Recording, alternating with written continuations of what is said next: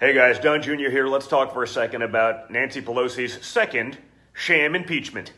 Um, I'm sort of curious. It was sort of interesting to watch the Washington Post, you know, the Jeff Bezos owned uh, propaganda arm of the left uh, that hasn't written a good article about Donald Trump in five years, uh, you know, just so we're clear that this is not some sort of center or maybe only slightly left leaning. I mean, this is full on commie propaganda, uh, you know, in, in, newspaper format owned by Amazon.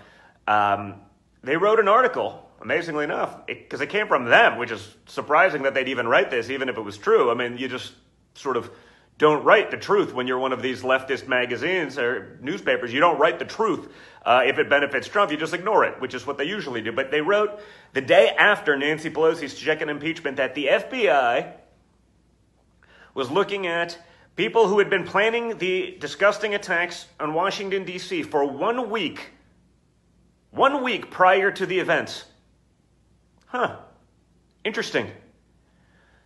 If the events were planned for one week prior, how is it that Donald Trump could have incited violence that day? How could he be impeached for inciting violence that was planned for a week prior to the attack? Notice, by the way, that the events were planned on social media platforms, not Parler, which was, you know, thrown off the App Store and then more importantly thrown off Amazon Web Services. Big surprise here. Uh, thrown off Amazon Web Services uh, see the link there, folks? You think that's a coincidence that that information came out a day after Nancy Pelosi's impeachment? Do you think that maybe these people knew about that, but they allowed it to happen? Do you think maybe that's why Nancy Pelosi rushed the impeachment so quickly? No witnesses, no testimony, no ability to defend yourself. I mean, this is some kangaroo court stuff here, guys. This is stuff that we'd see out of Russia at best. Uh, I think even they would blush uh, at the insanity of this one. But think about that. You think that maybe Nancy Pelosi rushed this through because they knew that was the case, but they couldn't come up with their fake impeachment if it wasn't the case? Uh, when you look at all the people, you know, doing their, you know, nonsense cancellation and everything like that these days, you, you think maybe they'd like to know that information? Probably doesn't matter. Again, it, they'll do whatever gets them a headline um, these days. But think about that for a second, folks.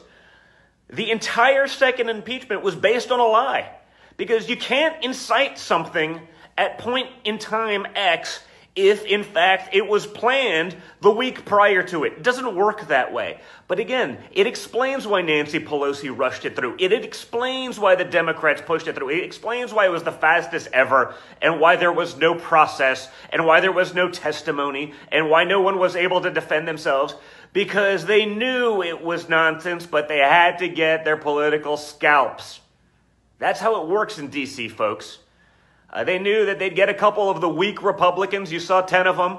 They'd get a couple of those guys to go along, uh, get their sound bites, glorify those guys for about two minutes till they say something conservative again. Then they'll go after them. That's why we got to, you know, make, make sure we don't elect weaklings uh, who will just fold uh, under this sort of nonsense pressure because the entire impeachment was based on a lie. They created a lie, the media ran with the lie. And then when the FBI, exact, you know, the leadership at the FBI, not exactly Trump fans. I think the door kickers like us a lot. Uh, leadership, not exactly fans. And even they were like, oh, the stuff was planned for a week prior. Ironically, again, not on Parler, which was the one that was thrown off because that was conservative leaning, uh, but on other social platforms. So think about it, guys. We went through a second sham impeachment. We went through second nonsense, all based on a lie, just like the first one was based on a lie. Just like the first one, they impeached Donald Trump for being right about Joe Biden and his corruption in the Ukraine. I mean, think about that. That's all it was. The first impeachment, they impeached Donald Trump for being right about Joe Biden. Now we know that. And now we know they went through another impeachment based on a lie. They rushed it through so they would not have the information, and they probably had it anyway because I have a feeling everyone knew exactly what was going on. But uh, they rushed it through so they could get some political scalps. They knew it was pre planned, but that wasn't what they tried to impeach him for. This is what we've been dealing with for five years, folks. This is the stuff they've been trying to do with my father for five years. That's why his record of accomplishment is so incredible. because he got it done despite zero help from the Democrats, despite nothing but attacks. And that's why he will always go down as my greatest president. Thank you, guys.